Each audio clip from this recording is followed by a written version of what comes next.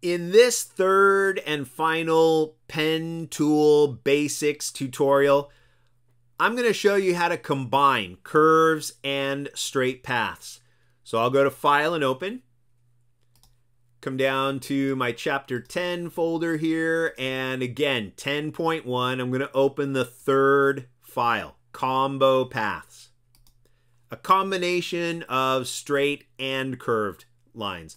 So I'll zoom in I'll go to my pen tool. I've already activated the white arrow. I already have my color. I already have my brush from the previous two. So all I really need to do is work with the pen tool on this one. And now I start off with a straight line. So remember, if it's a straight line, you do not click and drag. Clicking and dragging is for bending lines. So I'm going to start here and click and let go shift click for a horizontal line, option or alt key to start from a corner, and now my curve goes up to the right. I let go of the mouse and the option or alt key, move away. This curve comes down and to the right, so I'm going to press and hold and pull down and to the right until I bend that curve right over my scan. Now, the next thing that I have to draw starts from a corner. Also, it's a straight line. So I hold Option or Alt key to start from a corner. I click to start a straight line. Let go my Option or Alt key. Click to continue a straight line. Click to end a straight line command click on my Mac or control click on your PC to deselect. Spacebar activates your hand tool so you can pull that next one into view. And now I'll do it again. It says make the straight lines first. So that's easy. Click, click, click, click, click. Then use the convert anchor point tool on the top point to curve the line along this dash line. So instead of this coming up as a sharp corner, I want it to bend in an arch. So I go back to my pen tool, press and hold, and I go to the convert point tool. Right here on the top point, I press and hold and I drag. I'm going to bend a curve from a corner right there. Convert a corner into a curve by dragging these little direction lines. Great. Everything is very flexible here in Photoshop when you're dealing with paths.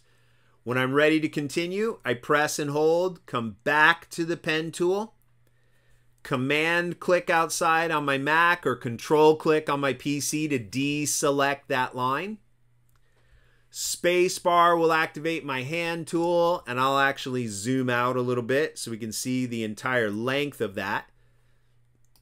And now I need to draw straight lines, curved lines, straight lines, straight lines, curved lines. Like I said, this is going to be a combination. So always keep in mind, straight lines, you don't click and drag. You click to start a straight line and you click to end a straight line.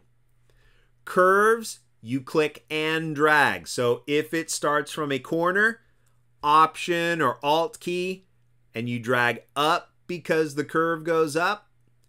Let go of your mouse and your keyboard. You only do it at the beginning.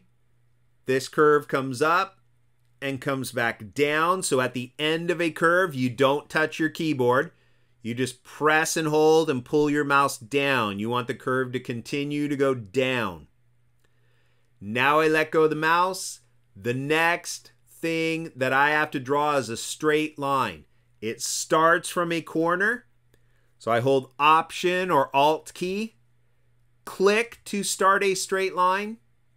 I let go of the mouse and the Option or Alt key. Click to continue a straight line click to continue a straight line. The next curve segment starts from a corner. Option or Alt key when you start from a corner. The curve goes up to the right, so I go up to the right. I let go my mouse and my option or alt key. Now the curve comes up, dips way back down. So I'm going to press and hold and dip way back down to continue that curve coming down. Now the last segment is another straight line.